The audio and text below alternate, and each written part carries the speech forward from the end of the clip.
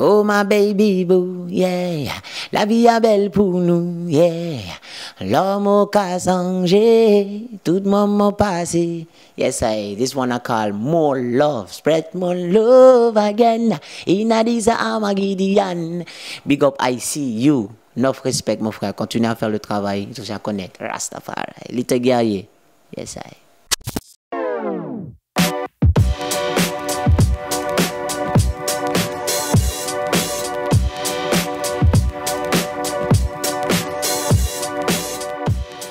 Bonsoir Little Guerrier. Bonsoir mon ami. On te reçoit ce soir pour une interview pour le site internet icu.fr. Donc est-ce que tu pourrais te présenter pour les spectateurs qui ne te connaîtraient pas? Eh bien moi je m'appelle Little Guerrier, euh, jeune artiste de la Guyane euh, qui véhicule les messages d'amour voilà, au service de Sa Majesté Haile Selassie Rastafari. D'accord. Euh, donc tu as récemment sorti ton cinquième album solo. Ouais. Donc euh, ça fait combien de temps que tu es dans la musique pour être déjà au cinquième euh, Concrètement 15 ans. 15 ans. on va dire 16 ans, mais 15 ans pour arrondir. Voilà. Depuis le temps de reggae jusqu'à maintenant. Et voilà, 15 ans que je, je suis dans la musique et que j'ai vraiment travaillé D'accord. Donc si on fait une moyenne, ça fait à peu près, si je ne me trompe pas, trop, tous les trois ans, un album tous les trois ans. On va dire ça, c'est vrai que enfin, certains albums, j'ai aussi eu un passage où j'ai sorti euh, euh, une de suite euh, deux albums. Donc en 2011-2012. Mais cet album, par exemple, More Love, j'ai sorti quatre ans après. quoi. D'accord. Et justement, quelle est la différence dans la préparation de cet album par rapport au précédent? S'il y a une différence? Euh, la différence est que hum, par rapport déjà le travail que je voulais effectuer sur mon cinquième album, je voulais arriver à un certain aboutissement. Donc les gens qui, que je voulais avoir, qui devaient travailler sur cet album-là, c'est des gens qui habitent un peu dans différents coins du monde. Euh, il y a l'aspect économique et puis il y a aussi, euh, je dirais, moi j'ai pris beaucoup de temps aussi à écrire sur cet album-là. Je voulais arriver sur euh, un état d'esprit où, euh, euh, même si j'ai eu cette pensée dans les autres albums, mais je voulais encore plus accentuer sur cet album-là pour qu'un enfant de 5 ans ou celui qui a 70 ans, les gens de ma génération, puissent écouter, comprendre aussi. Je trouve les mots le plus simple, mais aussi le plus compréhensif. Quoi. Voilà que ce que j'ai envie de m'exprimer là, donc les gens puissent le comprendre. Mais parfois, on a du mal à choisir certains mots pour que ce soit plus facile pour l'autre. C'est toujours un peu difficile pour que les gens le comprennent tel, de la manière que tu penses. Voilà, avec tes mots. Donc, c'est un travail que je devais faire tout seul dans mon coin avant d'arriver et euh, aussi partager avec les gens. Et euh, il y a l'aspect aussi sur la couleur musicale, le mix de l'album où euh, il fallait vraiment que je, on va dire, que j'exprime beaucoup euh, mes sentiments, la façon que je vois la couleur de l'album avec les gens qui allaient travailler sur le mix, les musiciens, le groove, le style, etc. Quoi. Donc c'est un album qui, avait, qui a demandé beaucoup d'échanges, beaucoup de temps.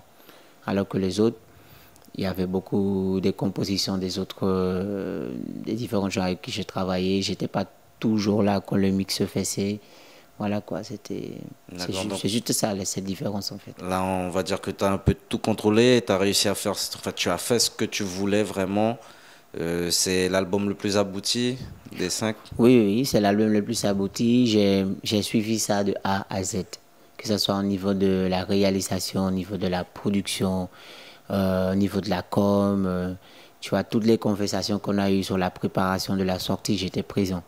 Pour vraiment euh, voilà, que les gens voient, que, parce que je pense que je suis la personne le mieux placée pour défendre ma musique. Voilà. Et je, je voulais que ça se sent, que, ça, que les gens le ressentent aussi, mais à partir du moment où on commence à travailler dessus, quoi. Pas seulement quand on arrive devant le public. D'accord. Donc l'album il s'appelle More Love. Oui. Euh, il y a 14 titres, il, est, il est déjà disponible. Oui. D'accord. Donc tu as sorti le clip My Boo. Ouais, Baby Boo. Baby Boo, Baby Boo. Yes, Excuse-moi. C'est extrait de l'album. Oui. D'accord. C'est. Tu peux nous parler un peu de ce titre? Alors, on a, on a choisi ce titre-là parce que c'est un titre qui me reflète, quoi. Donc quand tu écoutes Baby Boo, tu ressens toute la couleur musicale qui m'anime. Tu entends le roots, tu entends le reggae, tu entends euh, ouais, là d'où je viens, le petit cassico, le petit, tu vois, le côté euh, Tibois. Euh, et puis euh, voilà, on a, on a, on a décidé de. de et, puis Baby Boo, le titre quand même, c'est un. Certains gens, c'est vrai qu'on le voit, quand, tu, quand on dit Baby Boo, on pense directement à la femme. Euh, quand j'ai commencé vraiment à composer cette chanson, je pensais à ma musique. Et mon baby boo, c'est ma musique. Mais c'est vrai que je voulais aussi que les gens le ressentent de la manière. Si tu as envie que ton frère ou ton, ton enfant ou ta femme ou ta, même ta grand-mère et ton baby boo par, par rapport à ce que tu as vécu ou par rapport à l'amour qu'elle véhicule, ce que vous partagez, eh ben voilà quoi, tout un chacun peut se ressentir dans cette chanson-là quoi. Donc c'est vrai, on a aussi rajouté ce côté euh, l'art du truc. Mais au départ, c'est parti sur un esprit, euh, voilà, par rapport à tout ce que j'ai vécu, la musique qui m'anime. Donc, c'est toujours mon baby boo, ma guitare euh, sous la main. Moi, je suis partout avec. Et puis, voilà. Et au fur et à mesure qu'on commence à mixer l'album, qu'on commence à travailler sur le mix, c'est tout le monde était sur la même longueur d'onde par rapport à cette chanson que c'est ça qui va annoncer la sortie de ton album. Donc, on a sorti ça deux mois avant qu'on a sorti le, avant que l'album est sorti officiellement au mois, d'avril. Et puis euh, voilà, c'était. On a, on a vu que ça a beaucoup plu au public. Oui, oui, oui, oui, oui. ça a beaucoup plu au public et puis ça, ça m'a donné une certaine confiance aussi.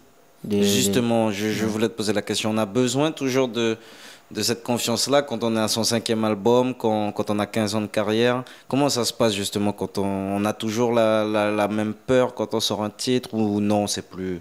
Alors la peur pour moi, ça n'existe plus, mais c'est vrai qu'on est toujours... Euh, alors, euh, j'ai de trouver le mot qui est adopté, mais on est toujours euh, un peu...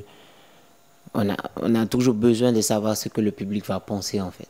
Voilà, on, on, reste sur le côté. Bon, ça, ça rassure quand, voilà, quand on sort un, un titre et qu'il est bien reçu par, voilà, par les médias, reçu, par le public. Voilà, par les médias, par le public. Moi, moi j'aime bien quand les gens réagissent sur mes chansons, que ce soit pour les, critiques constructives, que ce soit sur. Voilà, moi, j'aime pas parce que c'est ça. Moi, j'aime bien m'intéresser sur la vie des gens. C'est ça qui me permet d'évoluer. C'est ça qui me permet de dire, OK, voilà, cette fois, je travaille sur ça. J'ai vu que 70% de mon public a, a, eu telle opinion. On revoit si, par exemple, les mêmes euh, réflexions arrivent. Ça veut dire que s'il y a une vingtaine de personnes qui ont les mêmes réflexions, que ce soit sur le mix, sur la vibe, etc., c'est quelque chose qui me pousse à méditer là-dessus. Mais justement, tu disais que sur cet album, tu avais pu tout contrôler. Mm -hmm. Donc, on peut imaginer que c'est toi qui décidais un peu, un peu de tout. Est-ce que tu avais des gens autour de toi qui te conseillent ou que toi, tu as besoin de leurs conseils qui t'aident Toujours. T'aident à réfléchir? Tu peux, tu peux nous parler un peu de... Ouais, moi, avant même que je suis passé à l'écriture, j'ai écouté tous mes autres albums. Voilà, Cryot, Cancul, INI, Pamoli. Après, j'ai écouté avec les frères avec qui j'ai travaillé. Donc, les frères qui ont un aperçu un peu plus, je dirais, grand homme sur la musique, quoi. Tu vois ce que je veux dire? Et qui va me parler sur tous mes clichés, sur la voix, sur... Je suis quelqu'un qui discute avec les frères qui sont là, les frères qui n'ont rien à voir avec la musique et qui va tout simplement me parler d'homme à homme, tu vois? Donc, il y a ce travail que j'ai fait avant. Et puis par la suite, au fur et à mesure que j'écris mes chansons et que je, voilà, je le pose certaines questions, même si parfois ils savent pas pourquoi je le pose, mais je le pose et puis je prends comme ça la force, j'écoute leur... Je suis quelqu'un qui est... C'est pour ça que l'album s'appelle Mon Love aussi, parce que je n'ai pas, pas fait cet album tout seul, même si les gens, même si je suis le moteur qui a fédéré les gens autour de ce que j'ai envie de faire, mais je l'ai fait avec eux, quoi. Tu vois, je suis toujours à l'écoute, ceux qui vont me dire une réflexion. Bon, là, ça serait bien que tu essaies de monter, en fait, trouver une autre note. Ça serait bien que tu grattes la guitare de telle manière. Je retourne à la maison, je le travaille, mais il faut que je sois satisfait. Voilà, donc c'est vrai que le dernier mot m'appartient. quoi. D'accord. Euh, on, tu nous disais tout à l'heure que tu as voyagé beaucoup pour euh, réaliser cet album. Ouais. Euh, on constate aussi que tu chantes en plusieurs langues. Ouais. Tu, tu, peux nous parler un peu de ça, le fait que de chanter en plusieurs langues sur l'album C'est pour c'est parce que l'album est destiné à un public large ou c'est toi, c'est ta volonté? C'est aussi ma vie quotidienne. Moi, tous les jours, je parle ces langues-là. D'accord. Tu vois, j'ai des gens autour de moi qui parlent anglais, qui parlent hollandais, qui parlent Tu, créole. tu, tu vis en Guyane euh, Euh, je vis en Guyane. C'est vrai que je vis en Guyane, mais la musique, depuis, on va dire, 7 ans, euh, je bouge. Voilà. Ça m'arrive de bouger tous les deux mois ou quatre mois, ça dépend. Mais je bouge toujours pour la musique. Et euh, le fait que tu bouges, tu rencontres des gens, d'autres d'origine, qui, parlent- qui s'expriment dans différentes langues. Et je suis aussi fasciné par la langue, il faut le dire. Moi, j'aime bien apprendre la langue de quelqu'un d'autre parce que ça me permet de aussi rentrer dans différentes cultures.